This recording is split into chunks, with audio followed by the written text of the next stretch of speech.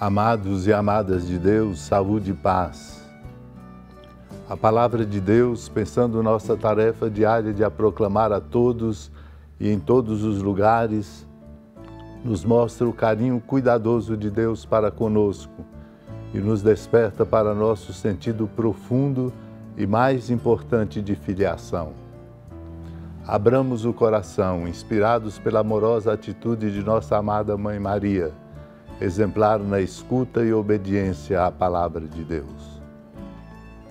Naquele tempo, Jesus voltou para casa com seus discípulos e de novo se reuniu tanta gente que eles nem sequer podiam comer. Quando souberam disso, os parentes de Jesus saíram para agarrá-lo porque diziam que estava fora de si.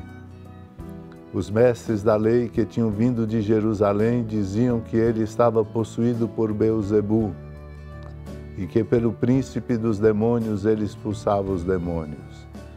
Então Jesus os chamou e falou-lhes em parábolas. Como é que Satanás pode expulsar a Satanás? Se um reino se divide contra si mesmo, ele não poderá manter-se. Se uma família se divide contra si mesma, ela não poderá manter-se. Assim, se Satanás se levanta contra si mesmo e se divide, não poderá sobreviver, mas será destruído. Ninguém pode entrar na casa de um homem forte para roubar seus bens sem antes o amarrar. Só depois poderá saquear sua casa. Amado irmão, amada irmã, interpele-nos fortemente o que Jesus diz completando o seu anúncio. Em verdade vos digo: tudo será perdoado aos homens, tanto os pecados como qualquer blasfêmia que tiverem dito. Mas quem blasfemar contra o Espírito Santo nunca será perdoado, mas será culpado de um pecado eterno. Jesus falou isso porque diziam ele está possuído por um espírito mau Irmãos e irmãs, não podemos correr o risco de perder o dom maior do Espírito Santo por fechamento de mentalidade ou por soberba. Vale-nos a advertência encontrada na regra mais longa de São Basílio Magno. Que palavra poderá verdadeiramente descrever os dons de Deus? Ele pergunta. São tantos que não se podem enumerar são de tal grandeza que um só deles bastaria para merecer toda a nossa gratidão para com o doador. Há um que a nós, seres racionais e inteligentes, forçosamente seria impossível esquecê-lo e pelo qual jamais o louvaríamos condignamente. Deus criou o homem à sua imagem e semelhança. Honrou-o assim com a reflexão só a ele, dentre todas as criaturas, deu a razão. Concedeu-lhe o gozo da indizível beleza do paraíso e o constituiu rei de toda a terra. Enganado o homem pela serpente, caído no pecado e pelo pecado na morte e nos sofrimentos que a acompanham, nem por isso Deus o abandonou. Mas pela lei, que lhe serviria de auxílio no princípio, colocou anjos para guardá-lo e dele cuidar enviou profetas para denunciarem os vícios e ensinarem a virtude. Susteve por ameaças o imposto do mal e estimulou por promessas e prontidão para o bem. Não poucas vezes, irmãos e irmãos, declarou antecipadamente em relação a várias pessoas qual o fim dos bons e os dos maus, a fim de advertir uns aos outros. A tantos benefícios, porém, respondemos com a nossa rebeldia. Ele, contudo, não se afastou de nós. A bondade do Senhor não nos abandonou e nunca nos abandonará. Nem mesmo pela estupidez com que desprezamos seus dons, conseguimos destruir seu amor em nós, embora desdenhássemos nosso benfeitor. Ao contrário, fomos libertos da morte e chamados de novo à vida por nosso Senhor.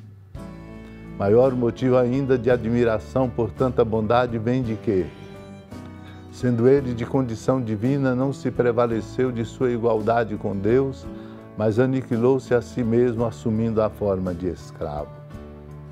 E não só, mas tomou sobre si nossas misérias, carregou nossas fraquezas, por nós foi ferido, para curar-nos por suas chagas. E ainda, redimiu-nos de maldição, fazendo-se por nós maldição, sofrendo morte infame, para nos reconduzir à vida gloriosa. Compreendamos a grandeza deste mistério e sejamos destinatários dignos dos dons de Deus. Supliquemos.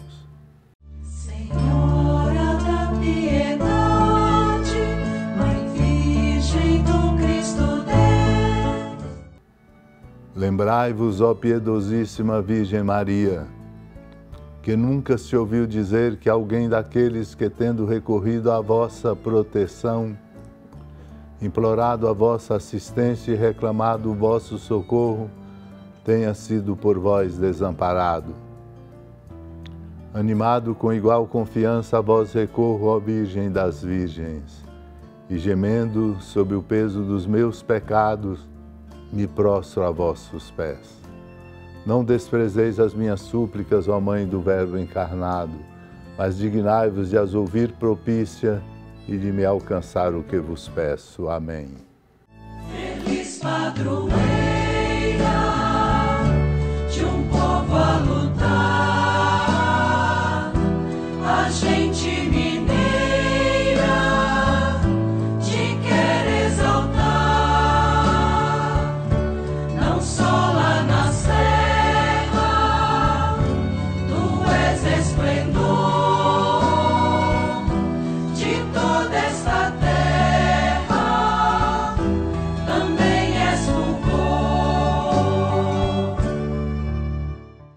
Amado irmão, amada irmã, com a alegria do Santuário Basílica da Padroeira do Estado de Minas Gerais, a Senhora da Piedade, que da sua casa de clemência e bondade nos acompanha e nos abençoa, do alto da serra, magnífica arquitetura divina, a bênção de Deus, amor misericordioso, Pai, Filho e Espírito Santo desça sobre sua família, proteja sua casa, sustente sua vida, fecunde o caminho missionário de nossa igreja, nos encha de sabedoria e permaneça conosco para sempre.